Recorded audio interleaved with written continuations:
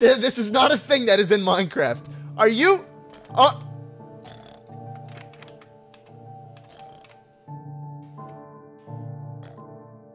I gotta get a closer look at this fucking thing.